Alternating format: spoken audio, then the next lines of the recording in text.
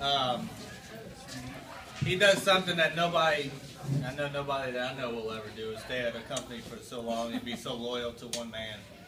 Um, like you said earlier, a couple years ago, y'all lost a, I know it's a dear friend of yours.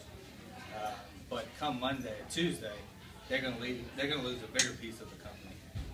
Uh, as you said, we we thank PGM for as much as they've done for this whole family, because with them, they've given you a, a, a job for 37 years to, to give us the opportunities that you've given us throughout our childhood uh, as we grow older. So we thank PGM, but more importantly, we thank you for being a great father, friend, uh, uncle, cousin, and every other brother. Well, sometimes he does wifely Brother-in-law. duties. Yeah. There's a lot of things that he is. Uh, so Future- future you, we thank you. We love you. Yeah. And um, we'll get you some stuff to do. Come. You're here.